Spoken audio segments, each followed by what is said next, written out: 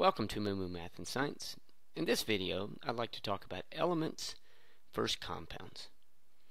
An element is a pure substance. In other words, an element cannot be broken down into a simpler substance by physical or chemical means. An element is made up of only one type of atom.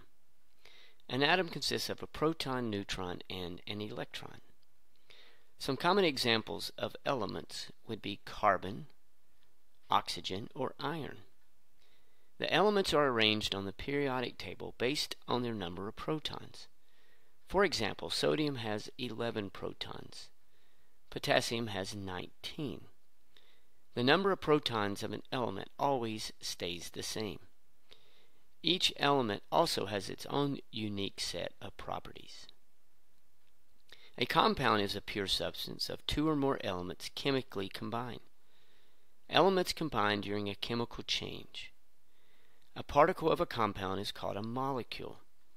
When the elements combine chemically, a new substance is created.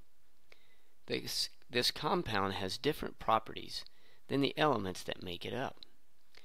Hydrogen and oxygen are gases, but they combine to make liquid water. Here are some items that combine to make compounds. Table salt is sodium and chlorine. Glucose, a type of sugar, is made of carbon, hydrogen, and oxygen. When elements create a compound, they always join in a specific ratio. The ratio of water is 2 hydrogen to 1 oxygen.